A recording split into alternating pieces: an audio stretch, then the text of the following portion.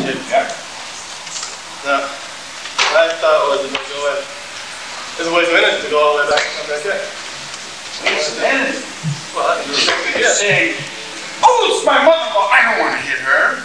so I'm going to come back. You can't stand. I don't want that to reach her because if I drag back, I'm not going to reach her. Is that what you want? No. Is that asking No. No. what do you want to? Instead of stepping all the way back, why not just switch in place? You can't.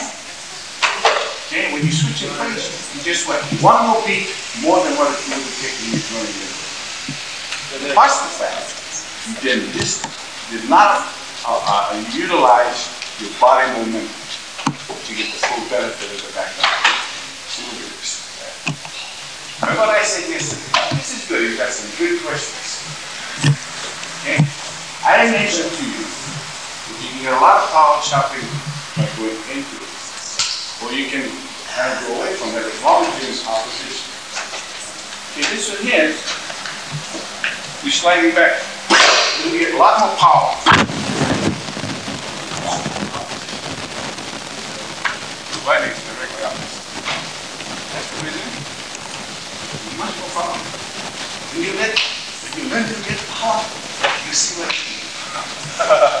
But it takes a little bit of practice. You know what I'm saying? That's, that's the reason. It's the momentous spread that adds to that. Whereas the double whammy that we're doing, you relax, you tense, you whip it up. You go. That's good, that's it.